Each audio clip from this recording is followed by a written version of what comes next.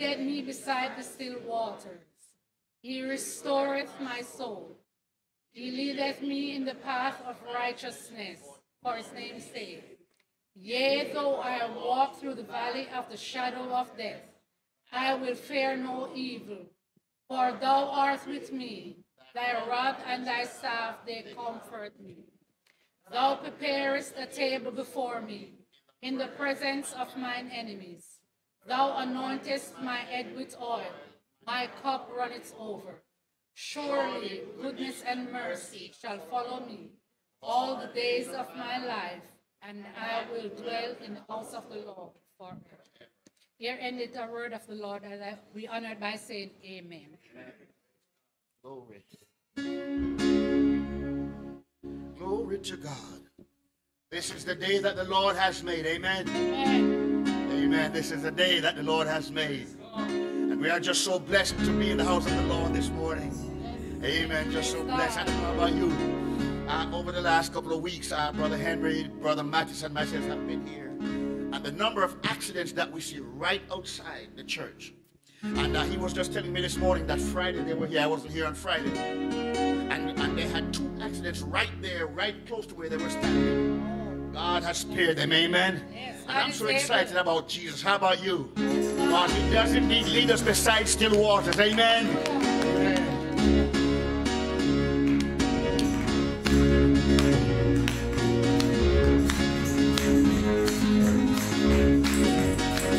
Well, this is the day. This is the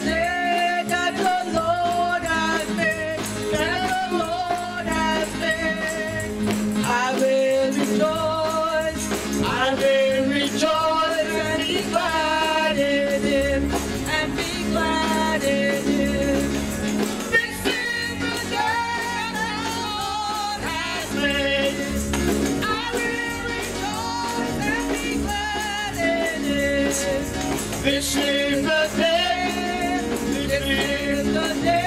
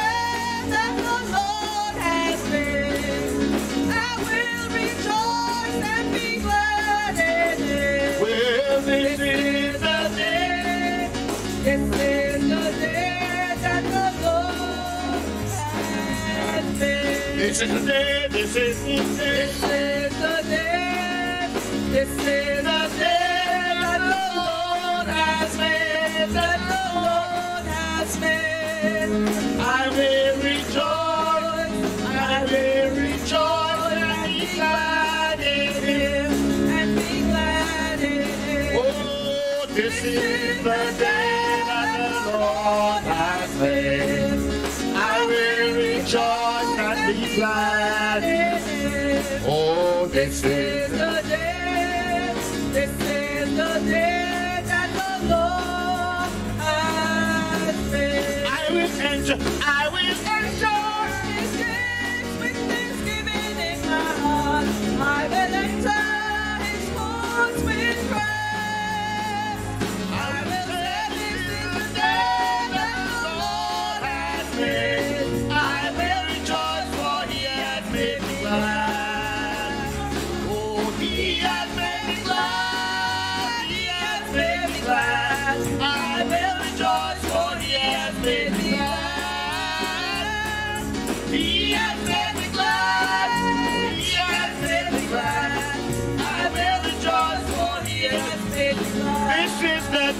This is the day.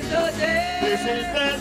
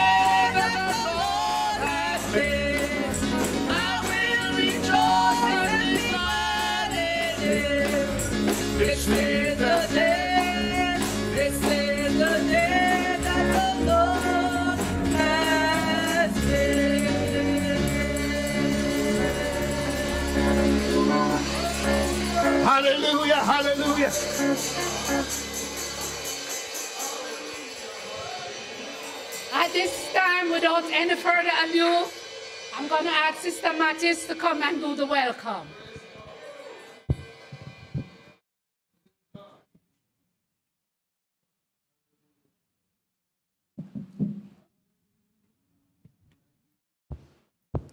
Good morning, church. This is really a day that the Lord has made. I couldn't believe I was walking without hipping this morning. You know, Glory. Hallelujah. you know I've been walking like Granny Walk and Rock. That's me. Anyway, Hallelujah. welcome, welcome, welcome. Those in Radio Land, those in the internet, we're so glad to be here. Anybody here for the first time? Glad to see you, Sister Faye. We miss you. Honestly, miss you. So let us all continue worshiping and give our praise to the Lord. Thanks for coming.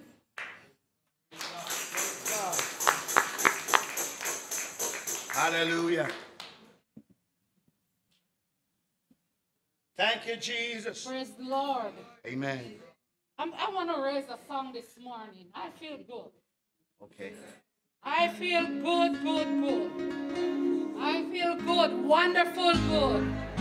Every time I talk about Jesus, I feel good. I feel good, good. Every time I talk about Jesus,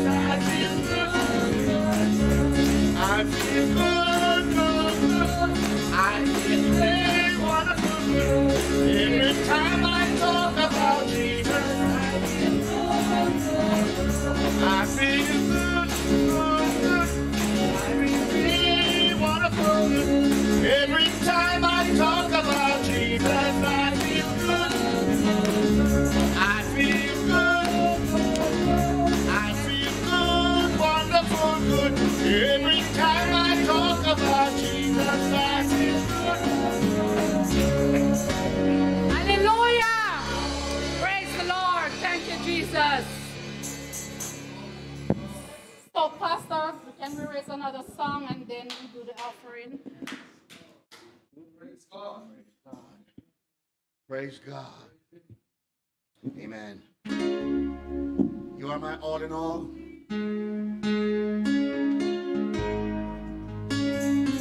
Thank you.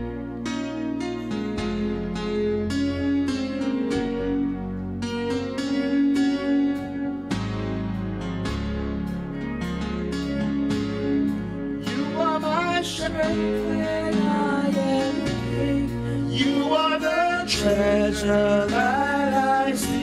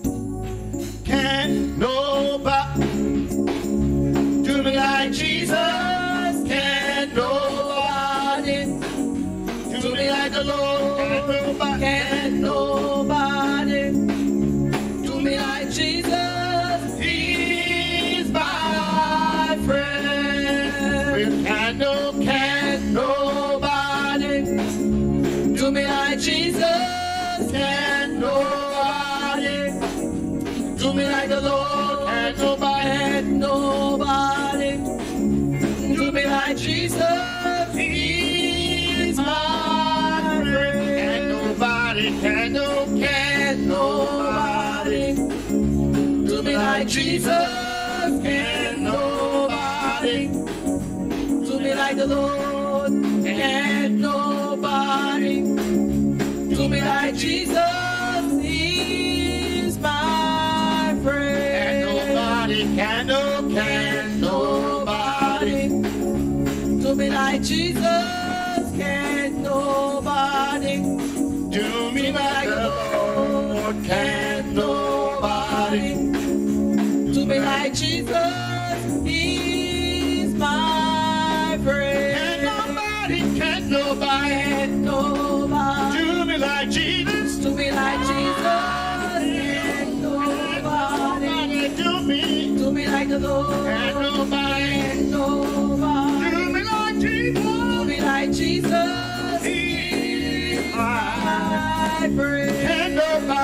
I know.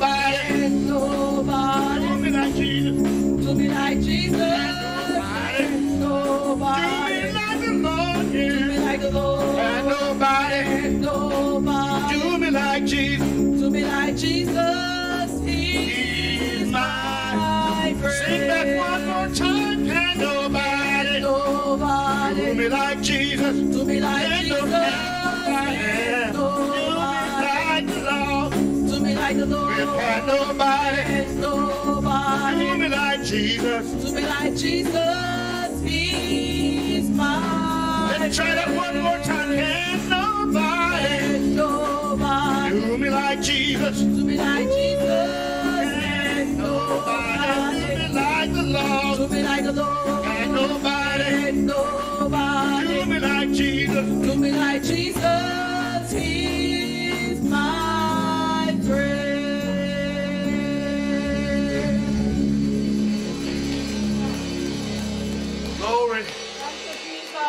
down. Sister Smith, can you bless the orphan for us, please?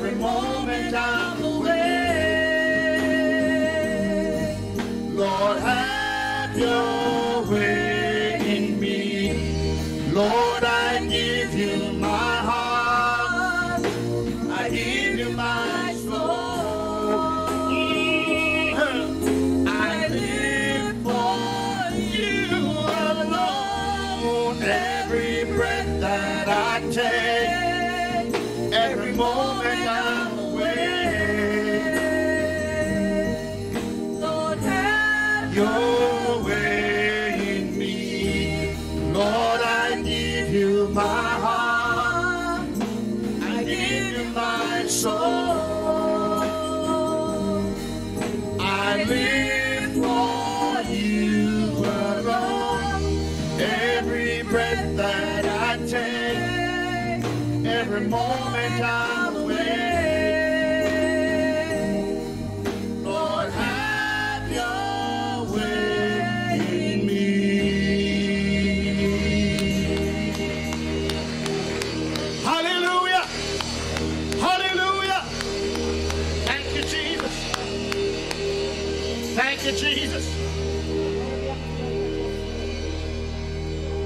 you, Jesus. Glory to God. So, church, I am going to ask you to stand up. Amen. Welcome the speaker of the hour, Sister Joan Walden.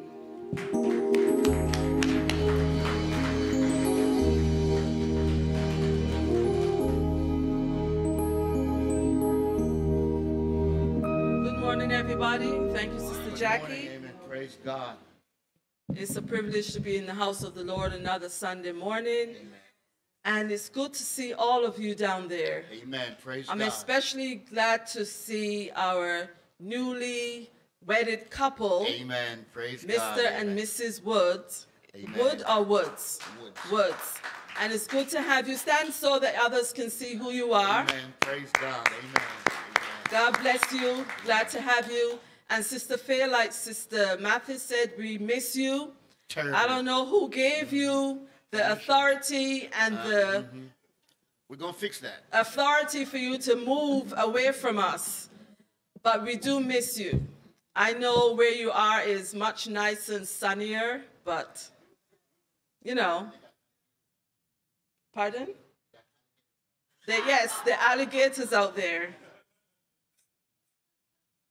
Check out on I 75.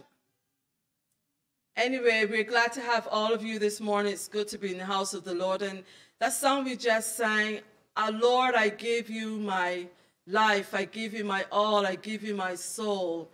You know, it, it's, it's such a wonderful song. And just, you know, whenever I sing it, whenever we sing it together, I just think of the fact that the person who we are, who we are singing to, the Lord, He's worthy to be worshipped. And that's why he placed us on this earth, to worship him, only to worship him.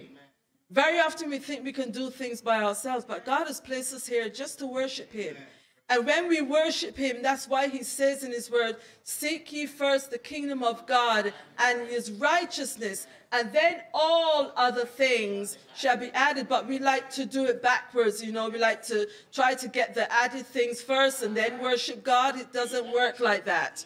So we need to worship God and the things that we need, not the things that we want, but the things that we need, God will supply them. It's good to see you again, as I said before, and welcome to Ladies Ministry Sunday. I know Pastor has been doing the praise and worship, and, um, and we thank him for that.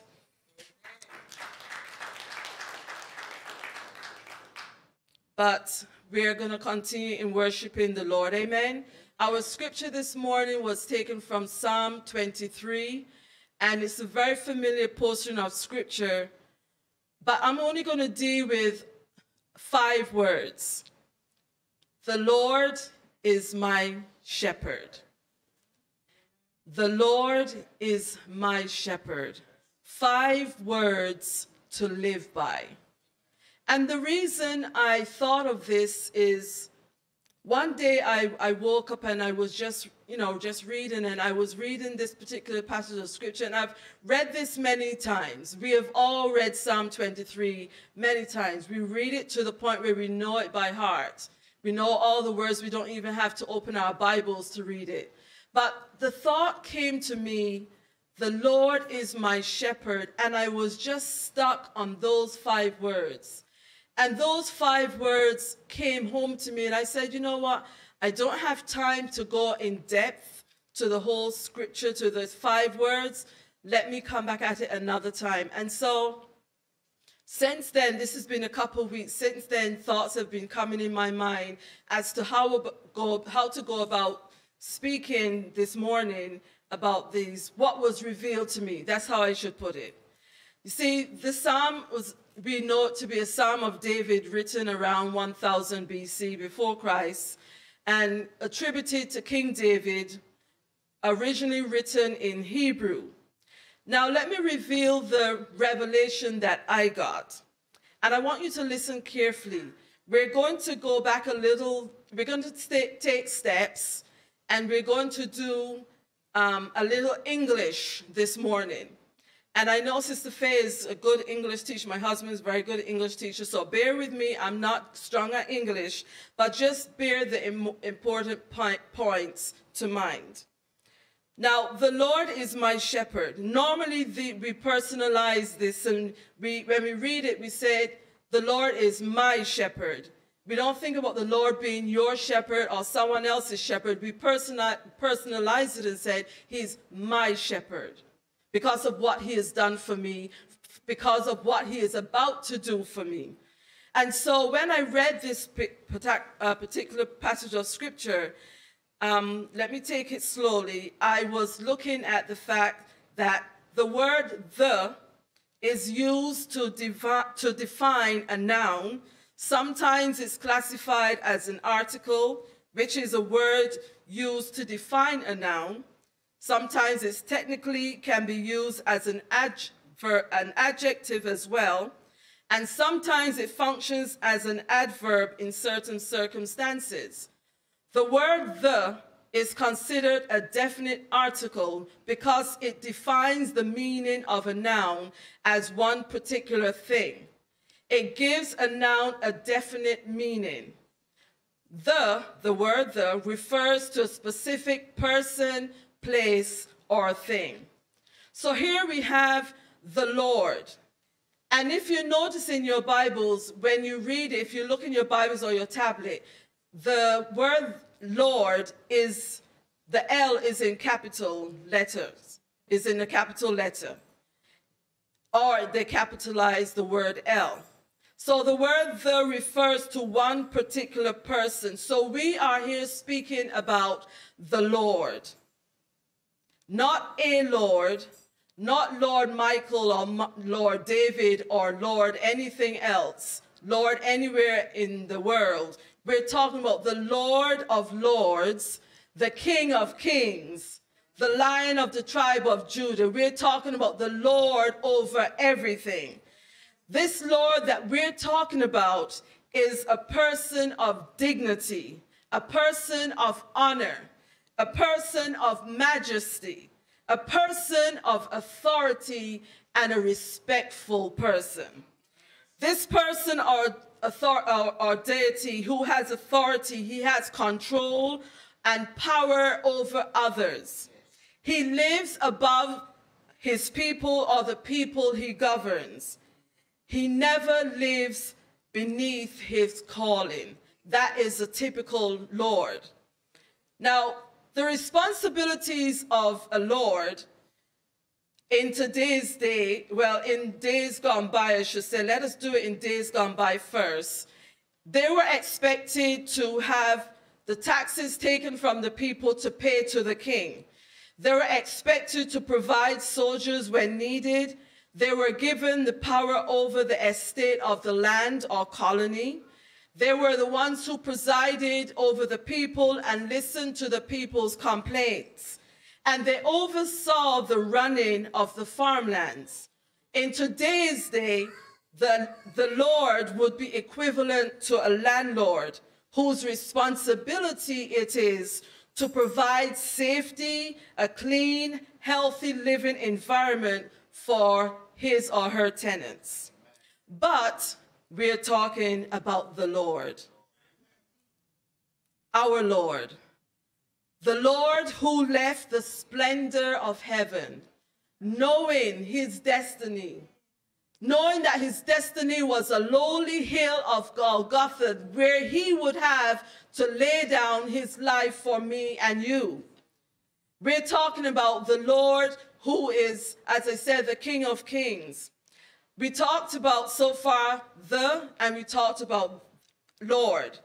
Now, the next part of the verse says, after it says the Lord, is the next, the next word is is. Is is a verb. It is written and spoken in English. It expresses existence or state of being. It is classified under linking verbs, such as he is the most intelligent student in the class. So it is a linking verb because it connects the subject, which is he, with the predicate, the most intelligent student in my class. Are you with me so far? Okay. Now, the Lord is the subject, is is the verb, and the predicate is my shepherd. My refers to belonging to or associated, associated with the speaker. It is a possessive adjective, which is a type of pronoun used before, pro, used before nouns. They explain ownership, or the word my explains ownership. So in this, call, in this case, the Lord belongs to me. He is associated with me. I am making him my personal Lord. But with all of this understanding of the English language, the adverbs and the adjectives, pronouns and nouns, the most important thing that stuck with me is that the Lord is my shepherd. And so we looked at all the responsibilities of a typical Lord. And now let us look at David and why he said, The Lord is my shepherd. David spoke from experience. His job as a shepherd was to do many things, it entailed many things. He knew that he had to make sacrifices as a shepherd. He knew he had dangers to face. He knew he had a price to pay in order to be a shepherd. And so David, looking at his life as a shepherd, was able to say, the Lord is my shepherd. Now, I've spoken to you, if you remember um, before, how many times before, I'm not certain, but my brother is here with me. He knows what I'm going to, in other words, what I'm, where I'm coming from. Now, growing up in Barbados, now, we had, we raised sheep. Now, coming from England at 10 years old, one of the things we did was not raising sheep. We were just new to the country of Barbados. It was myself, my two brothers, of which David here is the youngest. And so when we came to Barbados, we had one particular sheep that stayed with us. We, not knowing the difference between having a pet and um, a livelihood, we had, we had, what we had was a billy sheep. It's not a goat, it's a sheep, but it's a billy sheep. Why we have it, why you call it a billy sheep is because it has horns. So it was, it was small at first, as, you know, a little lamb, and it grew up and grew up, and we used to have, sometimes he was so comfortable with us, he would come in the house, and he would walk around the house, and, some, and then he would climb out through the, um, the back door and go back outside, graze, and we only had a little spot of land, a little spot of um, area, because we had not started building the house that we were meant we were going to build as yet. We were just renting at a particular place. So the space was maybe about the, um, say from where Sister Smith is to where Sister um, Harris is, coming up to maybe where the speaker is, just that small amount of land with little grass. And so the, the goat would be out, the, sorry, the sheep would be out there and he would graze, but sometimes he would come in the house. But then if you're not careful, if you're outside doing something, you're bending down some, doing something, this billy sheep would butt you and then you fall flat on your face. So this was what we knew as a beginning. But then when we moved to our new house, my brother, my father, my mother, they decided to raise sheep. So we had a lot of sheep gradually getting bigger and bigger. How much was it before you left?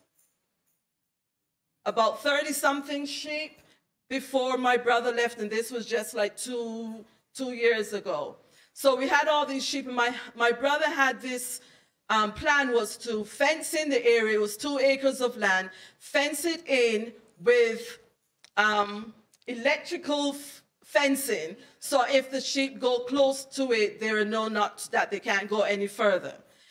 Why I say all of this is to say that my brother was seen as the shepherd with the sheep. He knew the responsibilities of taking care of sheep. His job was to protect them, to make sure they're fed, make sure they're watered, make sure they have plenty of grass. And we would separate certain parts so that you leave other parts to, for the grass to grow so that the sheep, and sheep are typical animals who would just nibble and nibble and nibble all day. And then when you think not, if you're not careful, you have no grass. And then you have to go out and get the sickle and cut grass. And don't think because I look like this, I don't know what a sickle is. I know what a sickle is. I have the experience of cutting grass with the sickle and bringing back to help feed the sheep because all their resources have gone. So we um, divided sections and each couple of days we would put the sheep in various sections short so they would graze. So here getting back to David, he knew how to take care of sheep. His job was to protect them from the wolves, from the bears, from wild animals, and even from traps. And I know a little bit about protecting sheep from wild animals because I remember one day my brother wasn't home and it was just, my brothers weren't home, I should say, and it was just me. And my brother had a pit bull. And one of the sheep kind of got too close. I shouldn't say kind of, he got too close to this pit bull. And before you know it, that pit bull had that sheep's leg in its mouth. And I'm here wondering, how am I going to get this sheep rescued? But to God be the glory, and I'm saying that because I called upon God and it's like he was giving me direction. I was able to pry that sheep's um, leg out of the pit bull's mouth and let the sheep escape so that I can shorten the leash on the pit bull. And so I know what David is saying when his job was to rescue from wolves and from wild animals. And that was his job. His job was also to find grass for them. Because as I said, sheep can, can nibble at the grass all day long. His job was to find water. His job was to find a safe place for them to rest and to sleep. His job was to bring the sheep to the fold at night and to keep them safe. Imagine having sheep to the point where they know your voice. And that's why God said, My sheep know my voice, and they hear my call, and they come. And that's how close the relationship is for the shepherd and the, and the sheep. Shepherds have to get to the point where they sometimes have to help the sheep deliver the young ones, the lambs into the fold, and to groom them and to shear them. So after eating all day, the shepherd's responsibility is, like I said, take them back to the fold and to stay at the gate and protect them. The shepherd's life was one of solitude. In the Bible times, the shepherd's life like I said, was one of solitude. Why? Because it took, their job took them into far places in order to feed the sheep. And then, like I said, they had to find grass. The life of the shepherd would take them sometimes out of their community, away from their family, away from who they knew. The typical job of a shepherd is not a nine to five job. It is not a job where you can just go in at any time you want. Your hours are flexible. No. The shepherd's job was to go from place to place to place to find pasture, to find food, to find rest, and to be renewed. Sometimes the shepherd would be gone for days, sometimes weeks, sometimes months. And all the while he'd be living in the exposed elements of rain and sunshine and storms, all because he needed to take care of the sheep. You see, the shepherd's job was not an easy job. Do you know why? Because sheep are very interesting creatures. They're interesting because they appear passive and that they're not going to do much or they can't do much. And they appear cuddly, just like our sheep we had when we first moved to Barbados. They can be sociable. They can see, find you as being good company around them. But they can be very cantankerous. They can be very out of control. You have to guide them and lead them. And that's why David had to use his staff and his rod to guide them constantly. And not only David, but the typical normal shepherd. Sheep tend to stick together. They're well acquainted with the shepherd's, shepherd's voice and they follow the shepherd's commands and the voice wherever he leads. Sheep do not fight back. They do not run and they do not hide. They all stick together. What does that tell us as a body of Christ? Are we supposed to stick together? Or are we supposed to, if someone goes down, it's like, oh, you by yourself? It is, as I was thinking, you know, it is like all for one and one for all, like the three musketeers. And that's how we're supposed to be. Instead, if the sheep are attacked, when a predator appears, they come together, giving the predator the choice of who are, who are they going to choose to separate from the, from the, from the, um, the rest of the sheep. You see, the wolves are seen as the worst enemy because wolves are cunning, they are very sneaky, they're constantly trying to get at the sheep.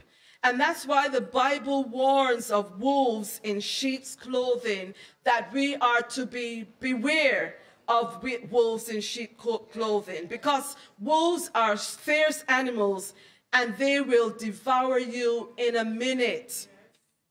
So let's take a look at God and what God wants us to see. See, in the Bible, I want us to look carefully why I want us to look carefully is because I said at the beginning we're looking at five words. The Lord is my shepherd. So we looked at the Lord, we looked at the shepherd. But what we want to look at further is the, the shepherd in the Bible, or and also sheep. So sheep were in the Bible, sheep were valuable creatures.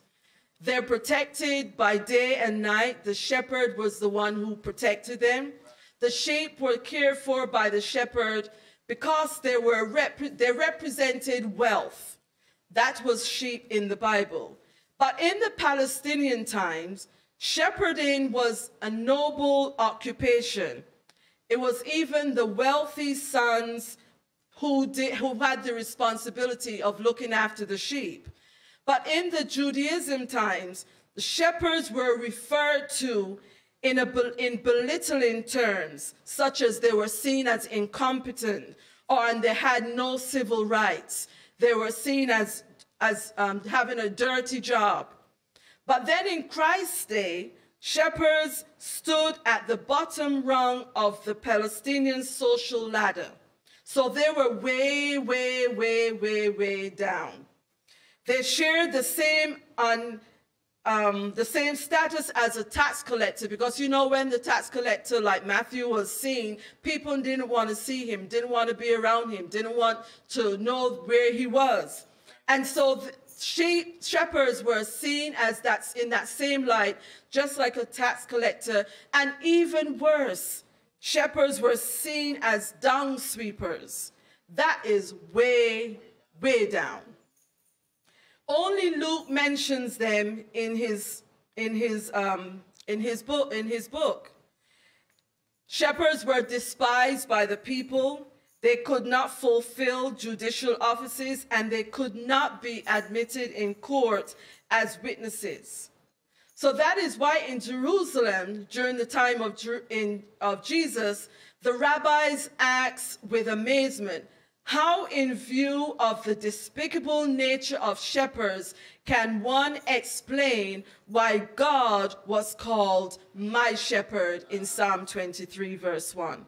You see, religious leaders maintained a strict caste system, and shepherds were labeled as sinners, a term used for a class of despicable people or despised people so I join with David and I say with pride, the Lord is my shepherd. Why? Because Christ stooped way below our level to get to us. He condescended himself. He looked beyond all of our faults and he saw our needs. And that did not stop him from coming to our level. He was marginalized by society and by the elite. He was called many names. He gave up his lordship to become someone who was despised and rejected of men. Not only that, John looked at the in John chapter 10, if you read on your, in your own time, John chapter 10, verse 11 through 18, the Lord went even further, further than David, and said, David said, The Lord is my shepherd. But John looked further and said, in the passage that Jesus says, I am the good shepherd. And not only did he say, I am the good shepherd, he said, I'm not a hireling. And why is that? Because a hireling is a person employed to undertake menial work, number one is considered domestic help, is a helper, a person who is paid for doing a job that is not respected or considered or is considered morally wrong. He is um, only works for a paycheck, a paycheck. That's all. The hireling does um, only works because he is expecting a paycheck at the end of, his jo- of the job. He is not concerned about what the job entails, and he is not going to do it with all of his energy, of all of his might. The, the hireling is, hireling is not willing to make the sacrifice that a shepherd would make. He does not concern himself with the value of the work, and he would neglect the sheep at any time. The hireling's job is only to concern about himself. It's me, myself, and I. Because if he sees a wolf coming, he will leave the sheep and hightail it out of there. He doesn't care if the sheep catches the, the if the wolf catches the sheep, and he doesn't care what will happen. Because the wolf will catch a sheep if the hireling runs. The, sheep, the wolf will scatter them and at least catch one or two or whatever, or catch one and injure it, go for another one and catch it and injure it to the point where they can't move. But, and I say, but again, Jesus says, I am the good shepherd. You know why? Because I will leave the 99 to look for the one sheep that goes astray. And it, it, if we think about it in our way of looking, if we have 99 sheep, and the way how we think today, would we really go after the one that goes astray? We're thinking that's only one. 99 is more important. We have more meat here, more meat that we can kill and sell. But not Jesus. He doesn't think like he doesn't think like us.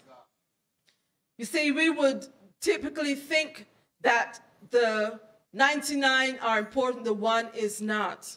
But God does not think like man. And just, just like the Marines, no man left behind.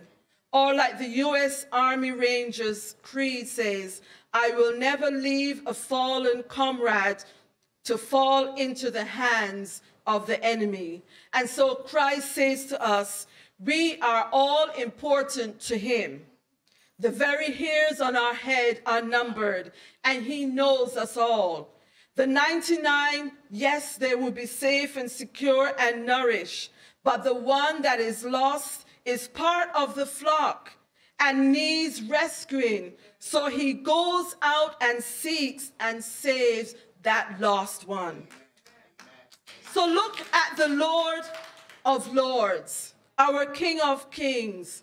The reason why David said he is my shepherd is because the Lord, who did not have to come down from heaven and leave his throne above, he came down and became my shepherd, taking on all the despicable names and all the name calling and all the rejection. He came down and became my shepherd. And so not only is he your shepherd, but he is my shepherd. He identifies with me. And so he brings me, it brings me to the place of preparation where he can feed me. He can bring me to green pastures and make sure that the pastures are always green, so I will always be fed. Not only does the good shepherd do that, but he leads me beside still waters. You know why? Because sheep do not like running water. They do not like water that is moving. The water has to be still.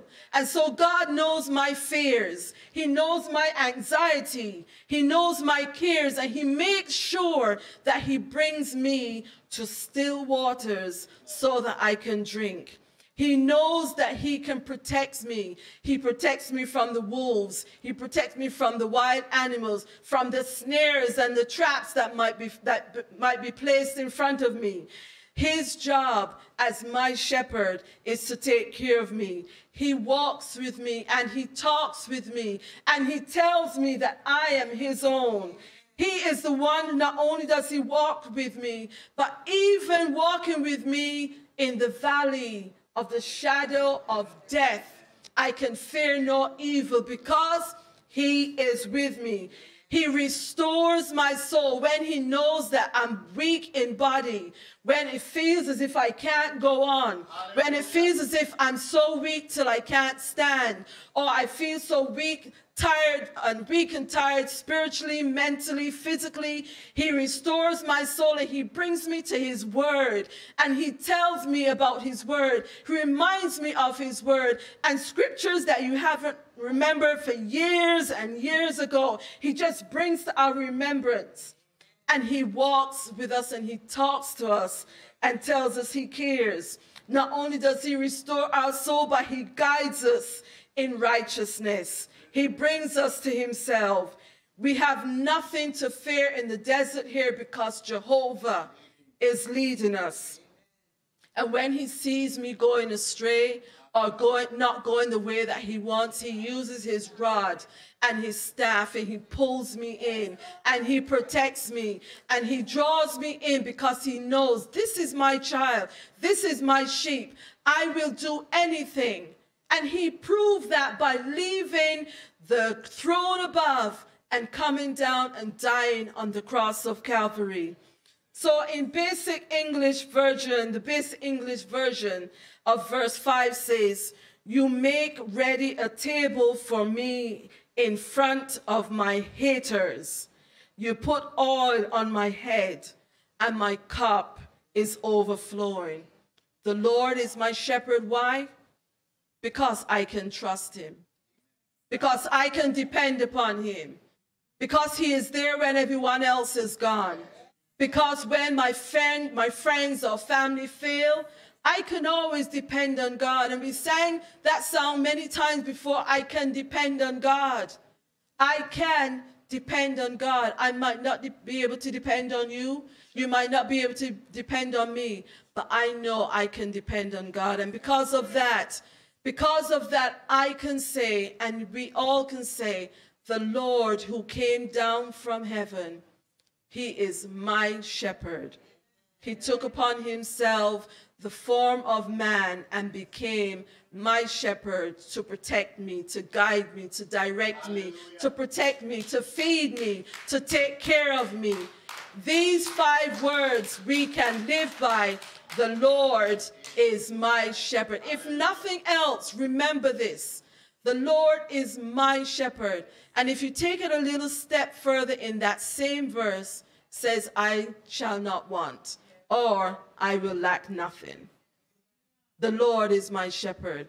And because of that, I can say I'm sheltered in the arms of God. Amen. If you know this song, you can sing it with me.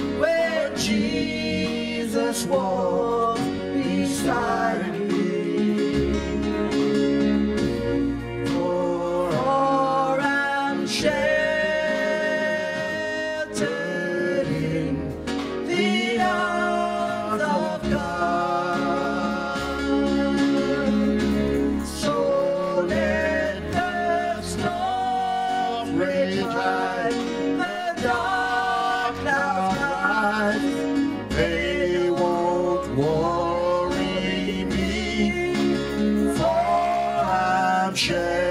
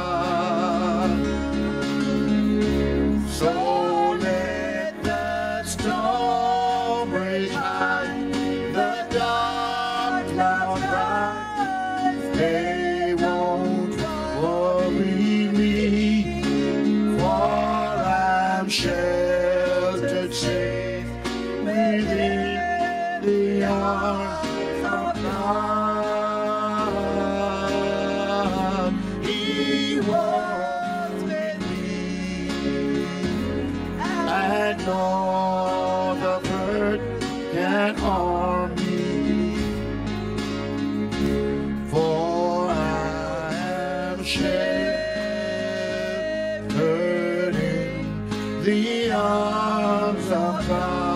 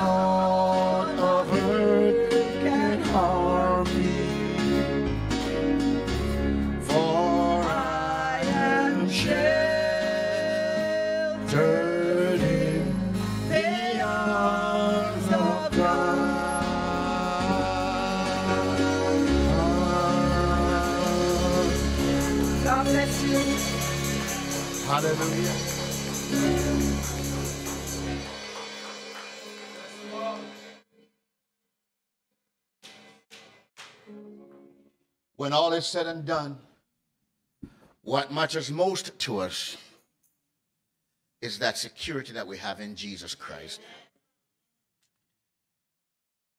I've often shared this story about my big brother Luke. Luke is six feet, he's the tallest one in our family. Luke is 200 and many pounds.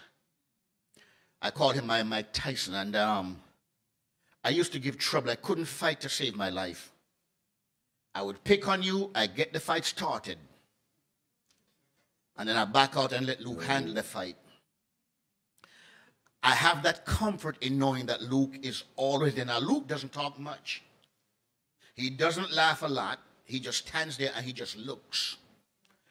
But one hand on you and it's over. I had that security. It doesn't matter who I am confronted by, I can always run to Luke. But even Luke has a limit. But Jesus, our shepherd, does not have a limit. Whatever we are facing, and, and, and what blesses me about this shepherd is that it doesn't matter what kind of fight you have, he is equipped to handle that fight. That's why Paul says, For we wrestle not against flesh and blood. He said, Therefore, take unto you the whole armor of God. In other words, make sure that you are in Jesus Christ. If you are in Him, He handles whatever you have to handle. The Lord is my shepherd. There is a comfort in knowing that, that He will always be there. He feeds us, He sustains us, He clothes us, He shelters us.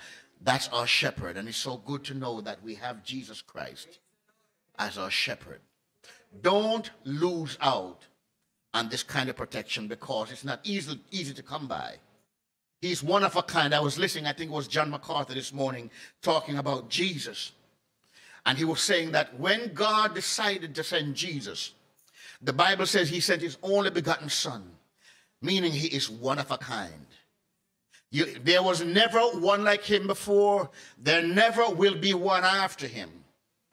And so we have found him as our refuge. Let us keep him, as David says, as our refuge and our strength, a present help in time of trouble. God bless you, Joan, for this word this morning. Amen. Amen. Uh, once again, it's good to Evangelist Brown. God bless you. Good to have you in the house with us this morning again. Amen. Good to have uh, to see all. Sister Faye, I don't know why you decided. You really picked a bad time to move.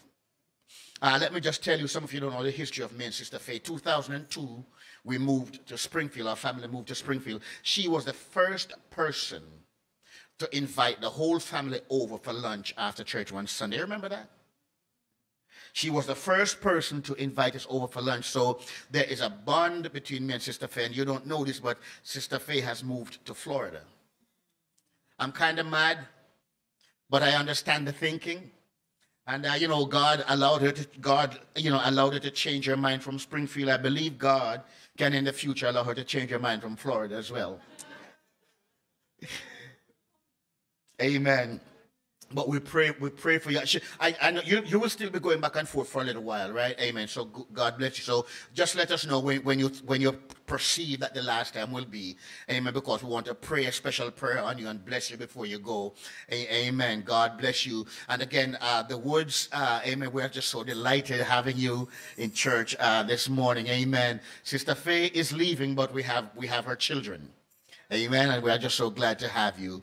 Amen. God bless you. I want you to know, church, uh, that God is indeed our refuge and strength. Whatever you do, always comfort yourself with this. Amen. I know that things may not necessarily be what we want them to be, but understand this. Everything that we need, we already have it. Oh, you didn't hear me. You didn't hear me. Everything that we need, we already have it. Some of them have just not yet been actualized in our experiences, but we have everything that we need. Amen. So we can trust God. Just let God handle his business. Let God do what God does in our lives. Amen.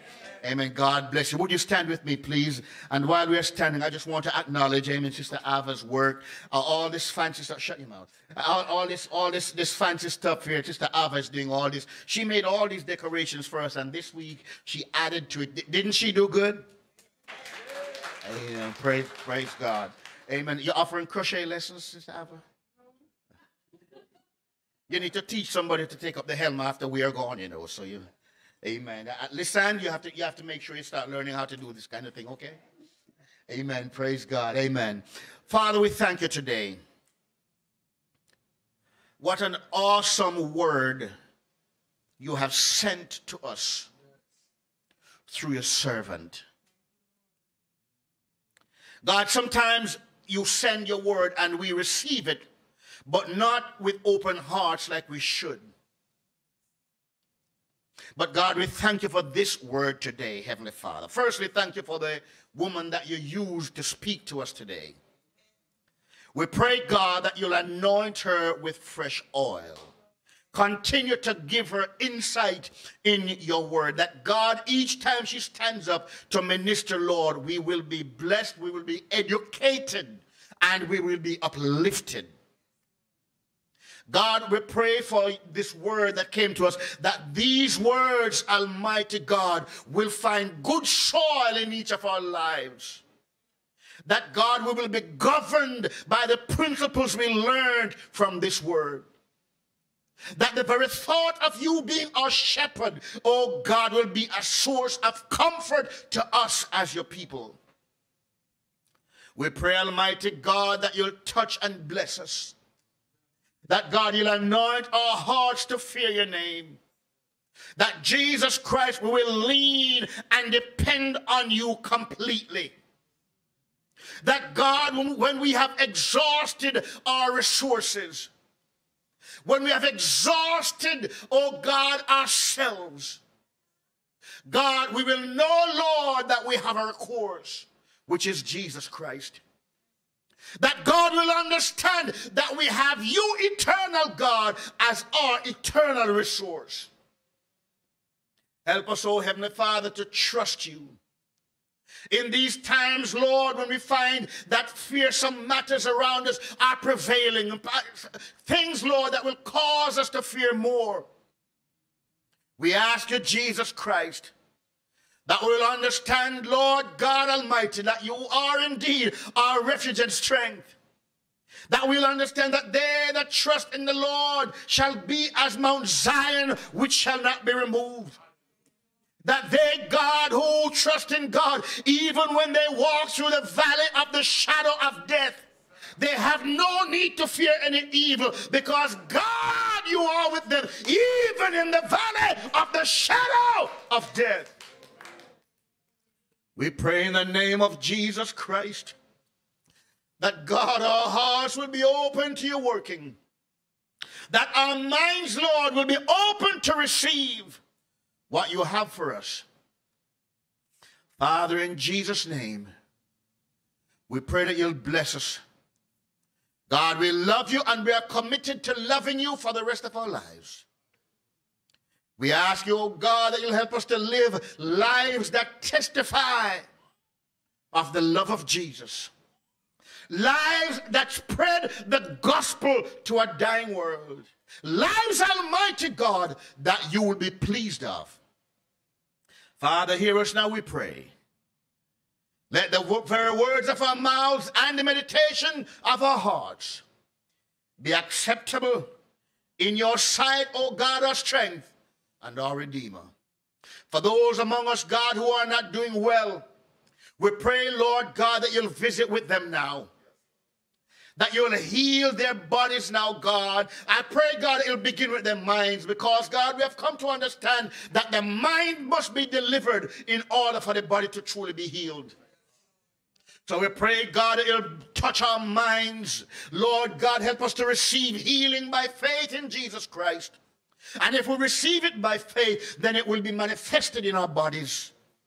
We pray, oh God, for those who have problems that they think they can manage, God Almighty, that Jesus Christ will help them to understand you as the problem solver.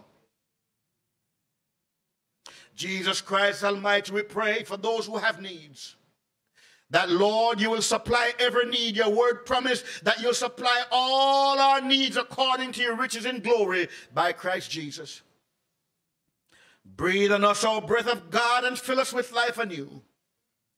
As we go from this house, Lord, but not from your presence, go with us, we pray. Protect each of my brothers and sisters. Cover them under your blood, Jesus Christ. Gather them under your wings like a hen does her chicks. God, like the shepherd does his lambs, protect your children, we pray.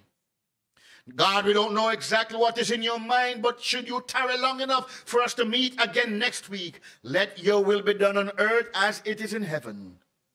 And God, we shall be careful to give you thanks and praise. In the name of Jesus Christ. Amen. And amen. Put your hands together for the Lord. Put your hands together for the Lord. Amen. God bless you. God bless you. God bless you. Greet somebody. Greet somebody. Say, tell somebody I love you. Amen. God bless you. Good, good.